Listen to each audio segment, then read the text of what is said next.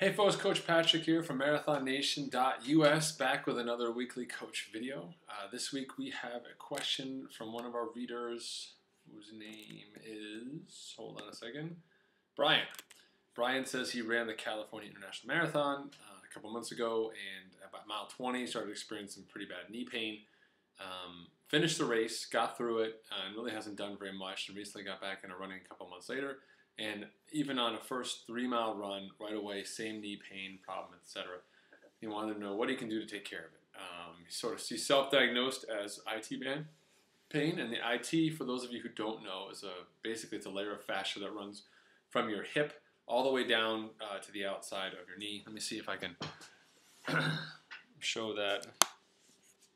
So it's going to run from from your hip up here, basically, all the way down the side of your leg and then attaching out here on the side of your knee. Uh, so a lot of people experience IT band pain at either one of the connective points, right? Okay, they experience it down here, the knee typically first. Um, later on, they'll have it up here uh, in the posterior compartment, up here in, in, the, in the back of the hip. Um, and uh, basically, it's a layer of fascia, so it's not muscle.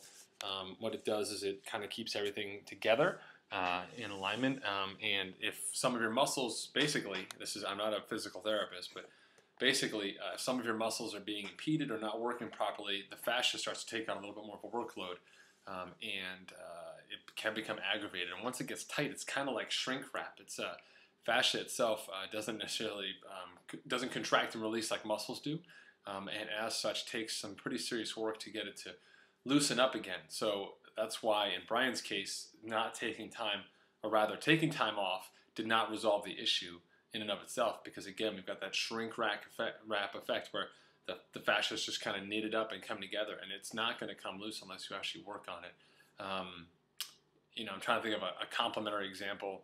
Um, out, you know, um, you know, like if you if you dry a sponge up, it's going to get tight.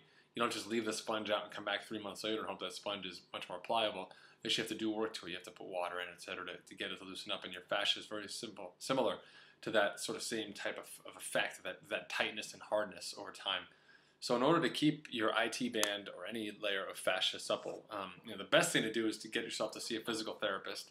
Um, hopefully you can get one that's covered, is it covered by your insurance. Um, but a physical therapist will do a good job of helping you sort of understand where you are with your IT band uh, and kind of give you a sense of the degree of severity. Um, some people have very minimal IT band issues. They've had a couple, you know, aches or pains. They can take care of it in a week or two, and they're fine.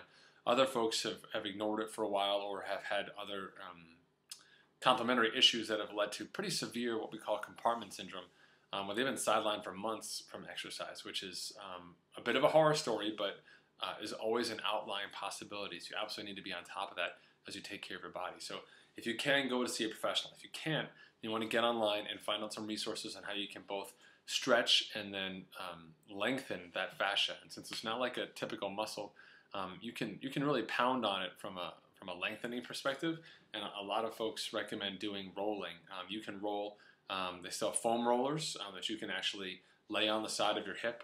Um, and if this if this is the foam roll and this is my hip, I'm actually going to roll my hip along the top of that foam roller so I can get into uh, digging into that fascia, really kind of sort of lengthen it out myself, particularly at the connection points, right? Either at the hip or down at the knee, um, and especially wherever you're suffering from that particular issue. Um, other times, people will recommend using something like a like a tennis ball or a similar ball uh, that you can sit on and work on the hip as well. Uh, it's something that's a little bit easier to use. Um, um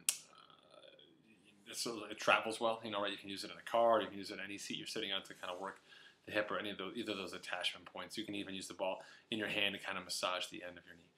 Um, at the end of the day, if you're experiencing pain on your runs right now, that tells me that your body has not properly resolved the, the issue with your IT band. You need to get it addressed.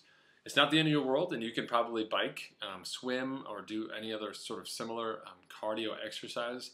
But until uh, you've done some serious work on your IT band um, and had it looked at, hopefully, um, I would avoid doing the running right now. Uh, your fitness is there, it hasn't gone anywhere, and you can get fit riding your bike and doing other stuff as well. What we want to avoid is you taking that IT band syndrome and pushing it to another level entirely that's going to require you to take even more recovery off later down the line. So um, um the minute you start to feel that onset of IT band syndrome, stop, take account of what's going on, uh, take a look at your shoes, make sure you're running on a flat surface, make sure your shoes are in good condition, um, and take you know do some self massage and care like that. That's a great website online called athletestreatingathletes.com. Um, and Lee Boyle, the head of that site, has put up some great videos and information resources for you on how you can take care of your body um, to make sure that you remain a healthy and happy runner. All right. Hopefully that helps you out, Brian. Uh, I feel your pain, literally. I've been there myself before, but with a little bit of focus and you know a couple solid days of not running but other complementary exercise, I'm confident you'll be back uh, on track, no pun intended, and uh, ready to rock. Okay, for your May race even. So it can be done. It can be done. Thanks, folks, for tuning in. Coach Patrick from MarathonNation.us signing off. Uh, I'll talk to you guys soon. I'll see you online or at the races. Bye bye.